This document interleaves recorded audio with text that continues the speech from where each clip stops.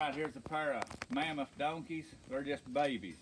They're full brother and sister. This darkest one right here is the Jenny, and the red looking dun striped one is the Jack. They ain't even a year old yet. They're gonna get big. They're gentle, good legs, good feet. Nothing wrong with them. Been running with cattle and goats and sheep.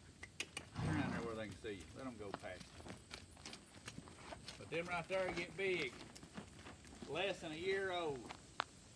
You can buy either one of them. Like I say, they've been together their whole life.